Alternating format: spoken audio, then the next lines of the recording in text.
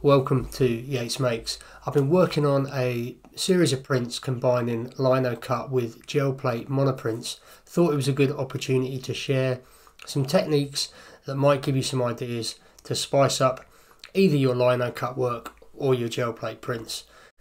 So we'll be looking at how to prepare collagraphs um, to produce your monoprints to use as backgrounds, how to use this um, really cool material I found as a, a kind of stencil mask to keep areas clean so that you can then subsequently move in and lino print areas as well. Okay, let's get into it. Okay, I'm making some pretty big assumptions here that viewers um, that have tuned in have got some experience with preparing a uh, lino cut. Um, if you haven't and you, and you want to have a go and you want some more detailed instruction on this, which I think is, you know, a whole other video really, let me know. But here's, um, you know, you can let me know in the comments. But there's some quick footage of me preparing my lino stamp. Um, so it's not a complete kind of square or rectangular plate. And it's a stamp because I want to kind of sit it into a background that I've prepared, as I said before, through making a monoprint.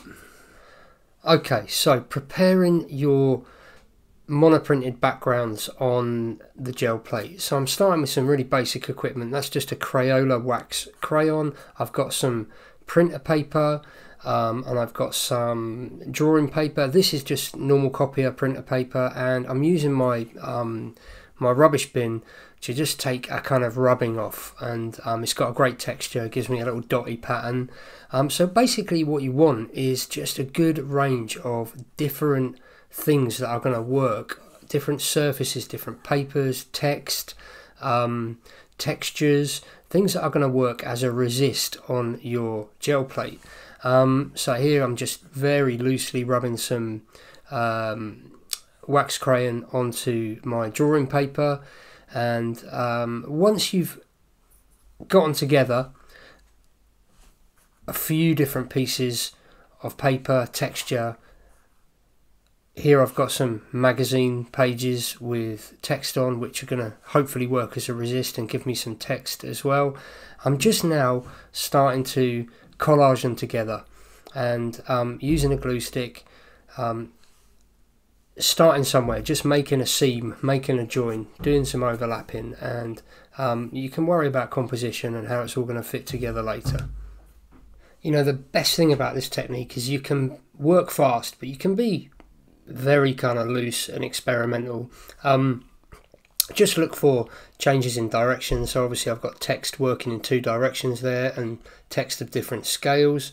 Um, and, you know, I know that I'm going to be printing on my um, gel plate, which is 25 by 20 centimeters, which is you know just a little under A4, which is giving me a rough size to aim for. So once I'd got a few layers sorted, I've now picked up my lino stamp and I'm just using it to try and think, well, where might it work within this kind of collage composition? And um, you know what I do know is that you know anywhere I've got uh, bare paper that is going to really clean the paint off the plate in the process. So that's going to be quite an empty area almost like negative space. Anywhere I've got wax crayon texture or text I'm going to get um, a little bit you know more of a transfer and therefore more tone. So I am kind of thinking ahead tonally as well. So removing a part um, if I left that completely bare as that is now that is going to um, remove no paint off my plate and therefore give me quite a strong colour or tone depending on you know what what colour I choose to print with. So um, you know I think the best way to, to start is just knock one of these up get one together quickly get the thing transferred and just see how it looks what textures are working well and um, you know the balance of tones as well You'll notice there I've done a couple of folds. Oh, excuse my dog is having a dream behind me. Um, so those folds are also going to give me, you know, hopefully another little linear mark on the plate. So um, preparing your gel plate for your transfer, you definitely want to use a thin layer of acrylic. So um, here I am with my 25 by 20 plate and um, I'm using black Amsterdam acrylic paint and you see that I'm really working it all over the plate and trying to spread it out as evenly as possible.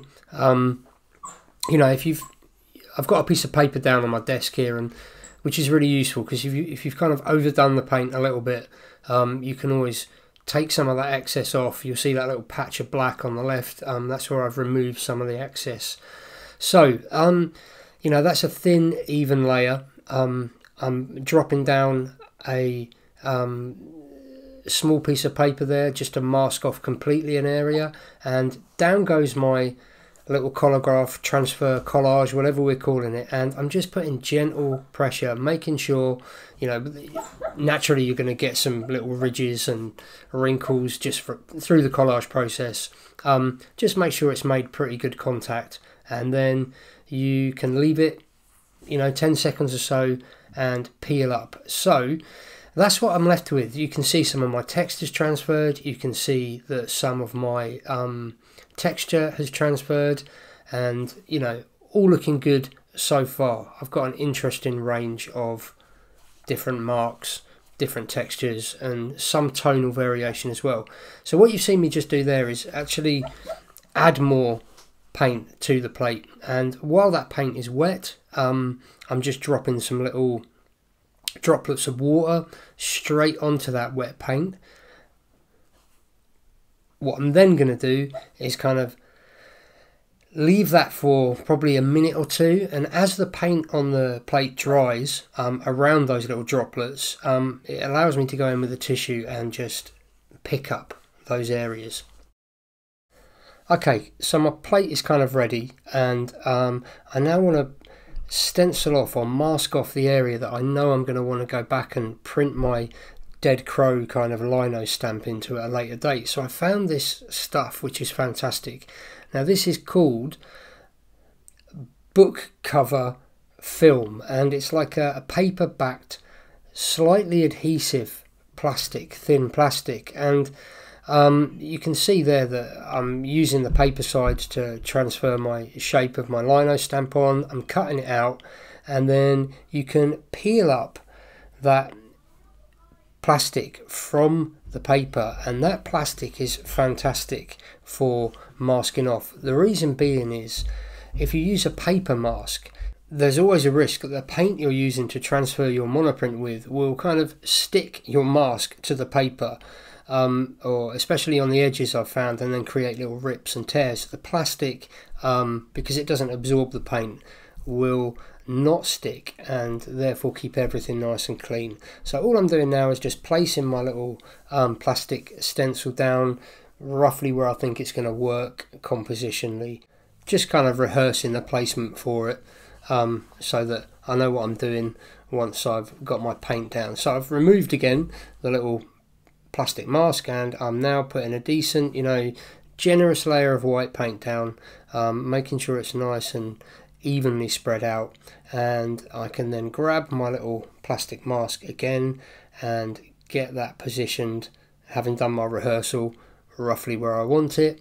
And the sticky side or the stickier side of the plastic is kind of facing up which is good because it's going to kind of not shift around too much. It's going to adhere to that nice dry paper and um, hopefully give me a nice clean silhouette stencil of where I'm later going to go in and do my lino stamp. So yeah, bit of pressure all over, leave it a few minutes and then you can peel up and you can see that the whole monoprint has transferred.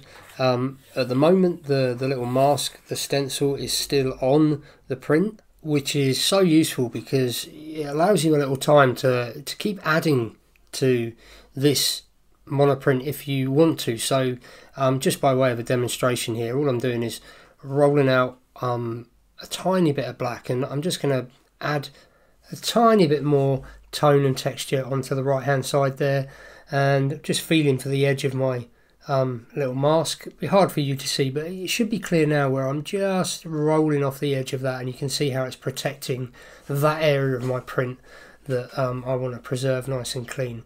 So now um, it's just a matter of peeling up. I've used the edge of my scalpel blade and you can see how cleanly that stencil lifts off.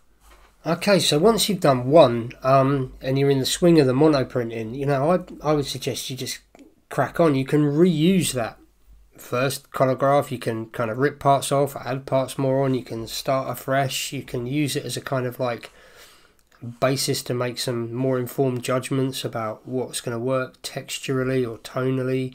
And here I've just um, made a whole new one. This time I've used some watercolor paper, so that whole bottom section, um, including the lovely texture of like the ring binding kind of rip dotty pattern at the bottom there. Um, you know, just be creative, look around, see what you've got um, in your collage drawer or your scrap paper drawer and, and, and play. You know, the best thing about this is it's, it's playful. There's some uh, text in this one, there's some uh, as I said, watercolor paper. There's some more wax crayon texture, and um, again, as before, using that little water flick technique, and um, you know, experiment. The best thing about these as well is if, if you feel there's too much on the plate, you can just remove some of it. You can use a wet wipe, you can use masking tape, and just clean areas off that you don't want. Um, this time I'm transferring with um, some gel medium. I thought it's probably more sensible than white because it's going to allow me to place my um, little plastic stencil a little bit more precisely in the position I want it. So I'm reusing the same one there. Um, and again, paper goes down, a little bit of pressure. This time I'm using my brayer, not my hand. And, um, you know, leave it five minutes or so, make sure it's nice and dry.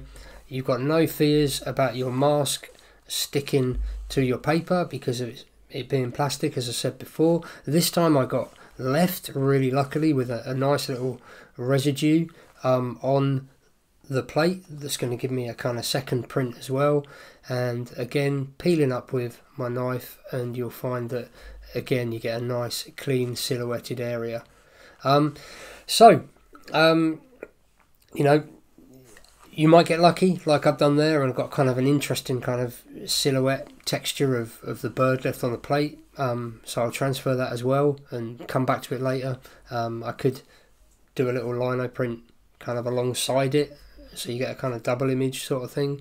So again, lifting that off with some uh, gel medium, and it's back to the start again. You know.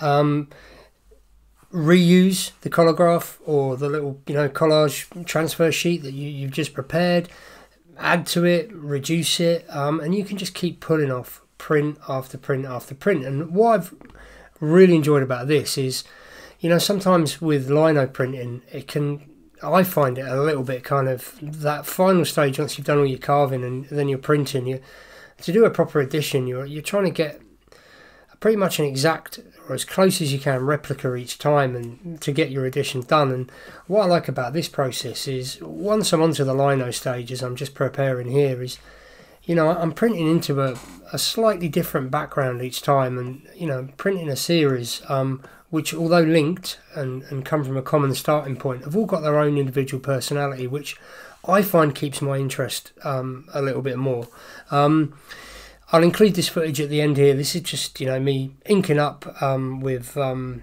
uh, Caligo Safe Wash um, uh, block printing ink, um, which is water based, fantastic product. Um, I'll link it in the, the description below.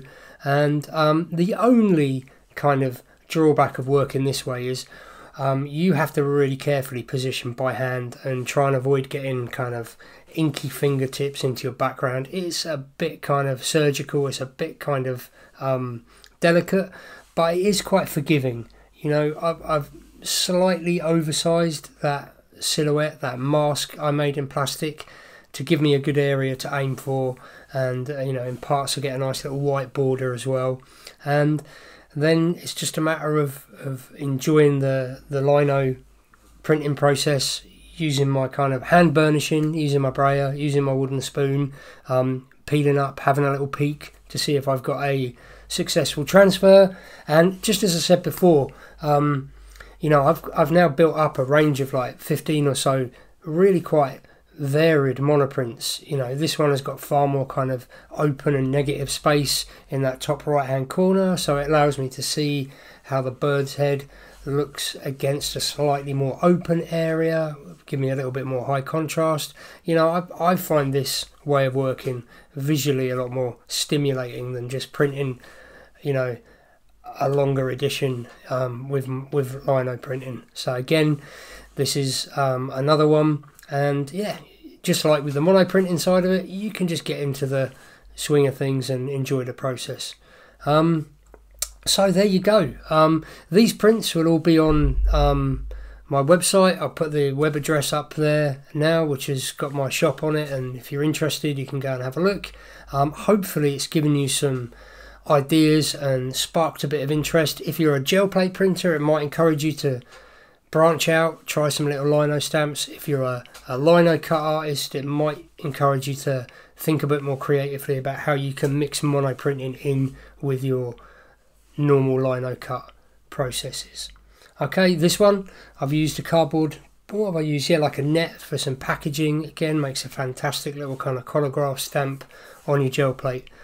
All right, um, if you've enjoyed the video, um, consider subscribing, um, comment, like, all of that kind of supports the channel, increases the chance of it kicking in to an algorithm somewhere on YouTube and getting pumped to a few more feeds around the world. And I'll look forward to seeing you soon in another video. Ta ta.